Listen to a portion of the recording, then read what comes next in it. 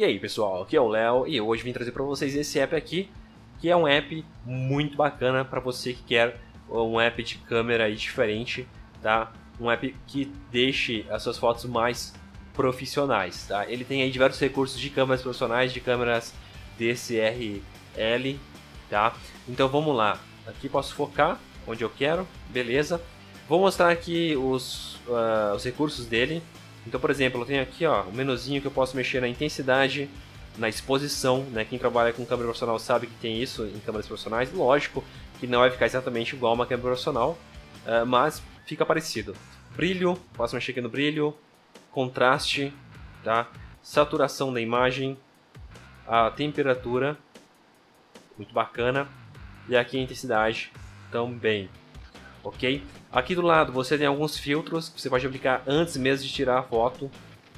Ó, clicou em HD aqui, ele muda para um outro tipo de foto. Bacana também. Deixa eu voltar aqui para os filtros. Aqui tem um terceiro ícone que eu nem vi o que é. Ah, para você desenhar na foto. Legal. E além dos filtros que eu acabei de mostrar. Aqui no cantinho você tem a opção de é, mexer no nível de horizonte, então você, ele mostra para você se a foto é torta ou não. Tem aqui também é, histograma, tá?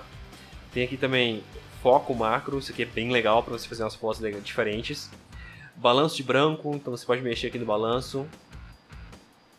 Legal também. Modo noturno, é, veja a foto após o disparo. Aqui você pode colocar orientações como grades, pontinhos na tela, isso aqui é legal.